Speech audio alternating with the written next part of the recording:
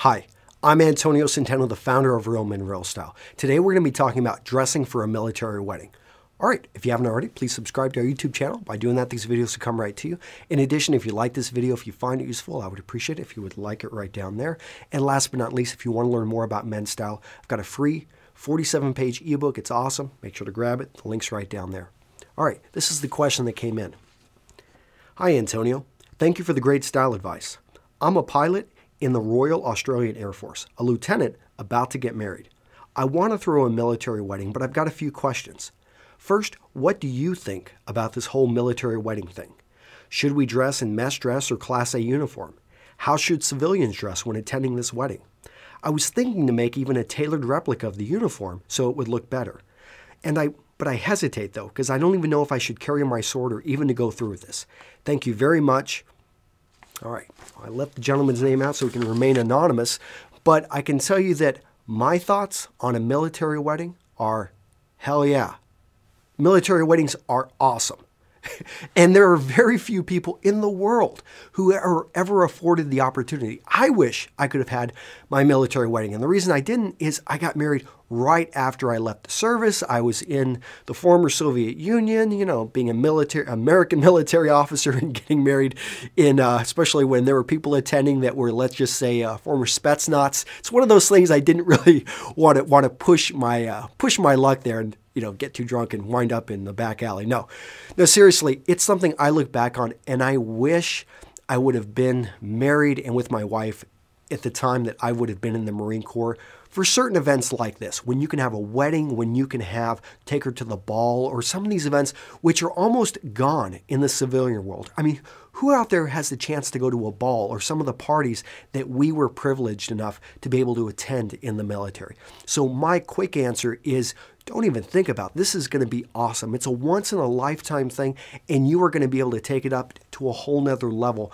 because you're going to be able to wear your uniform so let's talk quickly about you know my thoughts on the uniform and what you should go with. I was in the United States Marine Corps and we get married normally in our dress blues. We also had a dress white, which was a white trouser with the blue top, and that looked well or looked really good, especially when the bride was wearing white.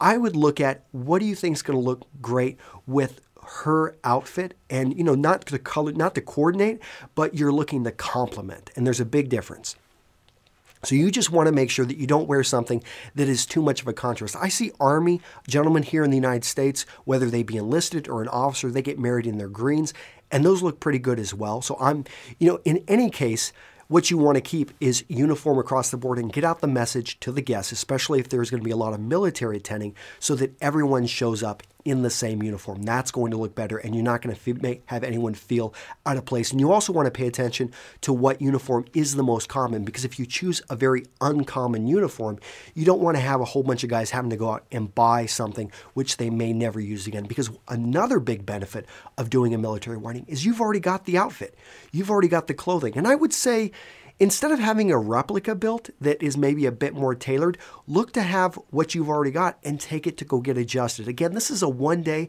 and I would say to take that extra money that you're going to save and spend it, spend it on booze or spend it on some great food. Have a good time. I mean, this is a once in a lifetime affair. Um, and again, I want to stress that very few people can do it. I, I wish I could. I wish I could have had one. Uh, something. I don't know. Maybe might be, my wife and I were going to get married for the third time, which we've never been divorced, but we like to get married uh, again and again. It's a lot of fun. We're going to have our 10th wedding anniversary and get remarried in Hawaii. So I don't know. Maybe I'll maybe I'll dress in my uniform. Now nah, I'm going to wear I'm going to wear a bathing suit or something. okay. So what about the guests? What are the guests going to wear when they attend the wedding? If it's you know just let people know. I wouldn't go black tie even though you technically could especially went with a mess dress uniform. I'm just going to say dark suits. Keep it simple but also pay attention. You're down in australia so the seasons are off here. If you're going to be getting married soon i take it's pretty warm right there. So and it also depends on where you're at. I mean if you're in darwin or if you're in sydney obviously very different dress codes a different type of feel. So pay attention to that. I would keep it though probably dark suits to at least, you know, at least a suit. And uh, you had a question. You were hesitating about carrying a sword. I say carry your sword. And this is the reason. A sword only has value that we attribute to it. So when a sword is first made And you know, no matter how expensive it is, it is just a piece of metal. But when it goes through these events in life with you, all of a sudden it becomes an heirloom. You attach value to that, and that's why it has value. So all of a sudden, when you pass that on to your son, if he decides to go into the military, I know in the Marine Corps you can actually pass your sword on to your son, even if it's not regulation size, because you're supposed to have a certain size for your build you can actually have it if it was your father's. And something like that. I, I, love the fact that you would be able to have something that you would be able to look at and have very fond memories of. Um, you know, so Here's my sword, by the way. You know, I uh, actually just have it in my office. It's a uh, it's a great reminder of, uh, gosh, of where I come from and what I've done. And I, you know, something like this, I give it value because of the experiences I had in the Marine Corps and the men and women I was a, I was privileged to serve with. So I hope that uh, you decide to carry your sword. Be careful about local regulations, and if need be, you know, keep them out in the vehicles. And I don't know if you'll be allowed to take them in the church. You may have to have them afterwards. Consider a sword arch. So this is where you have officers or enlisted. It can be a combination of both. Are on both sides. And as you're coming out, they pull out their swords and they arch them up. And you and your bride go right underneath. And don't forget, you need to have someone designated who will. Uh, swing his sword and hit the wife on the uh, backside for you. That's I don't know, Marine Corps tradition. I don't know if you guys do that down under, but uh, maybe start the tradition down there.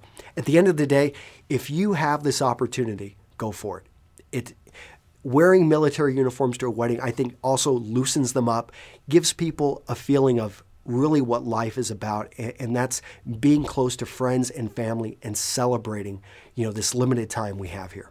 All right, this has been Antonio Centeno with Real Men Real Style. I'll see you in the next video. Bye bye.